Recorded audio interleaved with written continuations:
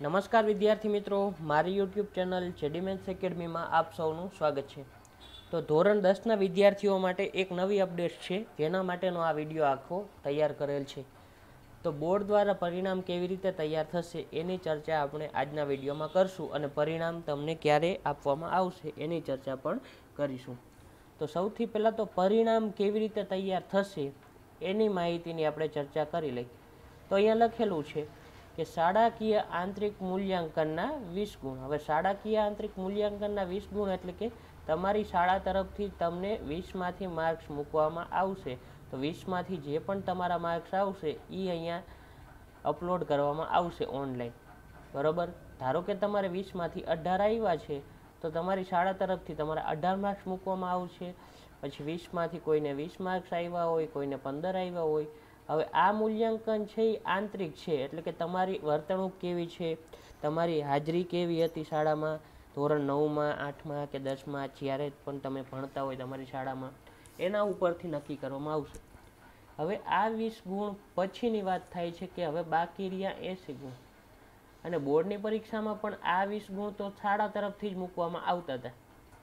તો એ વીસ ગુણ શાળા તરફથી જે પહેલાં મૂકવામાં આવતા હતા, એવી જ રીતે વીસમાંથી ગુણ મૂકવામાં આવશે. હવે બાકી રહ્યા એંસી ગુણ, તો એ એંસી ગુણની ચર્ચા અહીંયા કરેલી છે કે પહેલાં વીસ ગુણ, પછી બીજા વીસ, ચાલીસ ચાલીસ ને બીજા ત્રીસ, સિત્તેર સિત્તેર ને આ દસ, એંસી. હવે આ ગુણની ગણતરી કેવી રીતે છે એ જોઈ લઈ તો સૌથી પહેલાં તો અહીંયા પહેલો ક્રમ આપ્યો છે. એમાં શું કીધું છે કે ધોરણ નવના પ્રથમ કસોટીના પચાસમાંથી મેળવેલ ગુણને ચાલીસ ટકામાં રૂપાંતરિત કરવામાં આવશે. હવે પ્રથમ કસોટીના પચાસમાંથી મેળવેલ ગુણને ચાલીસ ટકામાં રૂપાંતરિત કરવામાં આવશે.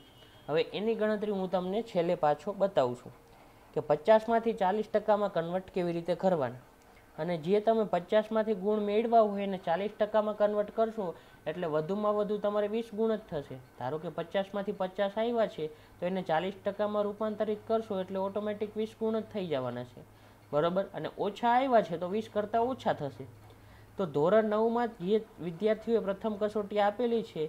એના પચાસમાંથી મેળવેલ ગુણ છે એને ચાલીસ ટકામાં કન્વર્ટ કરવાના છે. પછી કોઈ વિદ્યાર્થીઓ કસોટી નથી આપેલી, તો એની ગણતરીમાં જીરો ગુણ ગણવાના રહેશે. બરાબર? હવે એવી જ રીતના જે પહેલો ક્રમ હતો, એવી જ રીતના તમારે શું થશે? બીજો ક્રમ. બીજો ક્રમ એટલે શું? કે એમાં એ જ વસ્તુ છે કે ધોરણ નવની દ્વિતીય કસોટીના પચાસમાંથી મેળવેલ ગુણને ચાલીસ ટકામાં રૂપાંતરિત કરવામાં આવશે. તો આ જે બીજી પરીક્ષા હતી તમારી દ્વિતીય કસોટી. એને પણ ચાલીસમાં રૂપાંતરિત કરશો એટલે એને વીસ ટકા થશે માર્ક્સ એટલે વધુમાં વધુ તમારે પચાસ આવ્યા હોય તો એની ગણતરીમાં કેટલા થઈ જશે?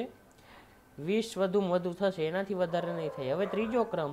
એમાં શું કીધું છે કે ધોરણ દસની ઓગણીસ ત્રણ બે હજાર એકવીસથી સત્યાવીસ ત્રણ બે હજાર એકવીસ દરમિયાન લેવાયેલ પ્રથમ કસોટીના એંસી ગુણમાંથી મેળવેલ ગુણને સાડત્રીસ પોઈન્ટ પાંચ ટકામાં રૂપાંતરિત કરવામાં આવશે.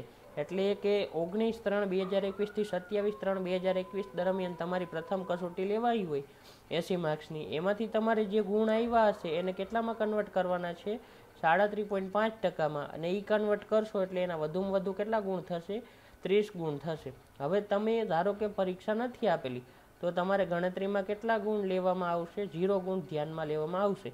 અને જે ઓનલાઈન પરીક્ષા લેવાની છે, તો ઓનલાઈનના ગુણ પણ ગણતરીમાં કરવામાં આવશે. એટલે કે અમુક શાળામાં ઓફલાઈન પરીક્ષા ના લેવાઈ શકાય હોય. તો ત્યાં ઓનલાઈન પરીક્ષાના જે ગુણ હશે, એ પણ ગણતરીમાં લેવામાં આવશે. અને ત્યારબાદ ચોથો પોઈન્ટ છે કે એકમ કસોટીના પચીસ ગુણમાંથી મેળવેલ ગુણને ચાલીસ ટકામાં રૂપાંતરિત કરવામાં આવશે. એટલે કે બોર્ડ દ્વારા બધી એકમ કસોટી લેવામાં આવતી હતી. એક પચીસ ગુણની હતી અને એના કેટલા ટકા ગણતરીમાં કરવાના છે? ચાલીસ ટકા. હવે આ પચીસ ગુણમાંથી ગણતરીમાં લેવામાં આવશે, પણ એકમ કસોટી તો અમુક વિષયમાં બે લેવાની હોય, અમુકમાં ત્રણ લેવાની હોય, અમુકમાં ચાર લેવાની હોય. અને ધારો કે ચાર એકમ કસોટી લેવાની હોય કે ત્રણ લેવાની હોય કે બે લેવાની હોય, વિદ્યાર્થીએ કેટલી આપેલી છે એ પણ જોવામાં આવે. એટલે કે વિદ્યાર્થીએ ચારે ચાર આપી છે કે ત્રણ આપી છે કે બે આપી છે. બરાબર? તો હવે એની ગણતરી અહીંયા કેવી રીતે કરવાની છે એ તમને સમજાવું છું. પણ પહેલાં અહીંયા પહેલો, બીજો અને ત્રીજો ક્રમ તો તમને કમ્પ્લીટ સમજાઈ જવા જોઈએ. કે ધોરણના નવના પ્રથમ કસોટીના પચાસ ગુણ હતા, એને તમારે ચાલીસ ટકામાં કન્વર્ટ કરવાના છે. દ્વિતીય કસોટી હતા, એને ચાલીસ ટકામાં કન્વર્ટ કરવાના છે. અને ધોરણ દસની જે પ્રથમ કસોટી હતી, બરાબર એ ઓફલાઈન લીધી હોય કે ઓનલાઈન લીધી હોય, જે પણ રીતે લીધી છે, એના ગુણ એંસીમાંથી હોય એને સાડત્રીસ પોઈન્ટ પાંચ ટકામાં કન્વર્ટ કરવાના છે. એટલે ટોટલ થયા વીસ ને વીસ ચાલીસ ને ત્રીસ, સિત્તેર. હવે બાકી રહ્યા દસ ગુણ પ્રથા કેના એકમ કસોટીના? તો એની ગણતરી સમજી લઈ. તો અહીંયા જો કે જો એક જ એકમ કસોટી આપેલ હોય, તો તેમાંથી મેળવેલ ગુણને ધ્યાનમાં લેવામાં આવશે. એટલે કે કોઈ પણ એક વિદ્યાર્થીએ ત્રણ કસોટીની બદલે એક જ કસોટી આપી છે. હવે એક કસોટી પચીસ ગુણની હતી, એમાં એને વીસ ગુણ આવ્યા છે. તો આ વીસ ગુણના કેટલા ટકા કરવાના છે? ચાલીસ ટકા. બરાબર? અને એ વીસ ગુણને ચાલીસ ટકામાં કન્વર્ટ કરીને જે માર્ક્સ આવે એ મૂકી દેવાના. પછી બીજો પોઈન્ટ છે કે જો બે એકમ કસોટી આપેલું હોય, એટલે લેવાની હોય ભલે ને ત્રણ કે ચાર, પણ બે કસોટી આપી હોય તો એ બંનેના કેવા લેવાના? સરેરાશ. એટલે કે ધારો કે એકમાં પંદર આવ્યા છે અને બીજામાં આવ્યા છે અઢાર તો પંદર અને અઢારનો સરવાળો થાય એના ભાગ્યા બે કરો ને એ એના શું થયા? સરેરાશ ગુણ થયા. એટલે પંદર ને દસ પચીસ ને દસ પાંત્રીસ અને અઢાર છે એટલે તેત્રીસ. તેત્રીસ ભાગ્યા બે કરો એટલે કેટલા થશે? સોળ પોઈન્ટ પાંચ થશે અને સોળ પોઈન્ટ પાંચ થાય એના તમારે કેટલા ટકા કરવાના છે? ચાલીસ ટકા. અને એ જે ગુણ આવે ને એ અહીંયા તમારે ધ્યાનમાં લેવાના છે. પણ કોઈક વિદ્યાર્થીએ ત્રણે ત્રણ એટેન્ડ કરી હોય. હવે ત્રણ એટેન્ડ કરી હોય, એકમાં આવ્યા હોય પંદર ગુણ. બીજામાં આવ્યા હોય સત્તર ગુણ અને એકમાં આવ્યા હોય પચીસ ગુણ. તો આમાંથી જે બેમાં વધુ ગુણ હોય ને ધ્યાનમાં લેવાના હતા. એ વધુ ગુણ કેટલા હતા? પચીસ હતા. અને પંદર અને સત્તરમાંથી કયા હતા? સત્તર.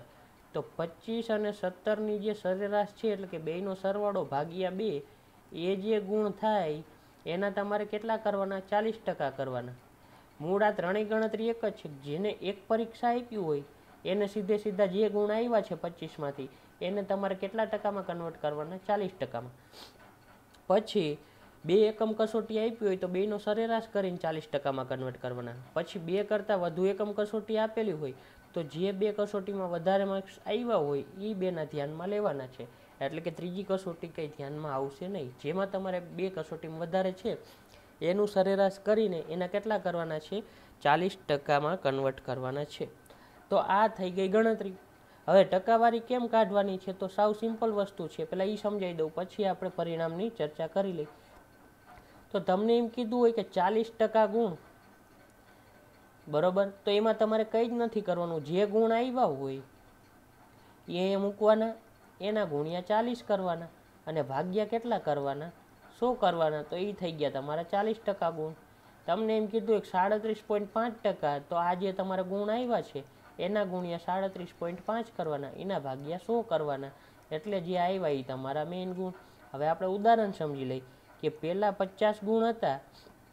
એમાં ધારો કે તમારે પચાસમાંથી પચાસ આવ્યા છે, તો એના ચાલીસ ટકા કાઢશો. બરોબર? એટલે ગુણ્યા ચાલીસ ભાગ્યા મેં કેટલા કરવાના કીધા? સો કરવાના કીધા. તો આ બે જીરો જીરો કેન્સલ થશે ને પાંચ ગુણ્યા ચાર એટલે કેટલા થશે? વીસ. તો મેં તમને કીધું હતું કે મેક્સિમમ કેટલા થશે? વીસ જ થશે. હવે એવી રીતના પચાસની બદલે ધારો કે ચાલીસ આવ્યા છે. તો ચાલીસ ગુણ્યા ચાલીસ ભાગ્યા સો, તો કેટલા થયા? ચાર ગુણ્યા ચાર, એટલે કેટલા થયા? સોળ. તો જેને પચાસમાંથી ચાલીસ ગુણ આવ્યા છે, તો એને કેટલા માર્ક્સ થશે? સોળ માર્ક્સ થશે. પછી સાડત્રીસ પોઈન્ટ પાંચવાળી ગણતરી કે એંસીમાંથી કોઈકને કેટલા આવ્યા છે? સિત્તેર આવ્યા છે. તો એના ગુણ્યા સાડત્રીસ પોઈન્ટ પાંચ, એટલે અહીંયા સાડત્રીસ પોઈન્ટ પાંચનું મીંડું હું ક્યાં જવા દઈશ? નીચે જવા દઈશ. તો હાજર થયા, આ બે મીંડા ગયા. હવે ત્રણસો પંચોતેર ગુણ્યા સાત કરી લઈ, તો સાત પંચાને પાંત્રીસનો પાંચડો વધી ત્રણ. સત્યો સત્યો ઓગણપચાસ, પચાસ એકાવન ને બાવનનો બગડો વધી પાંચ, સાત ત્રીસ એકવીસ એકવીસ ને પાંચ છવ્વીસ.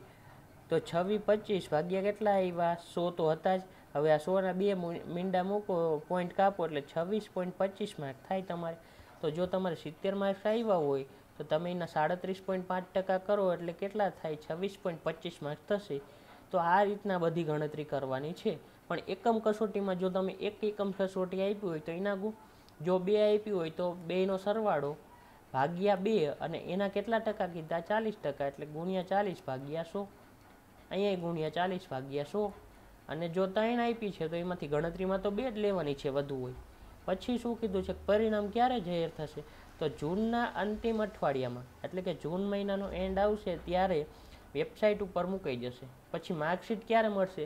તો જુલાઈના બીજા અઠવાડિયામાં, એટલે કે જુલાઈ મહિનો શરૂ થાય ને પહેલું નહીં બીજા અઠવાડિયામાં તમને માર્કશીટ મળી જશે. તો બસ, આ બધી ડિટેલ હતી આજના વિડીયોની. જો તમને વીડિયો પસંદ આવ્યો હોય, તો મારી ચેનલને લાઇક શેર અને સબસ્ક્રાઈબ કરી દેજો.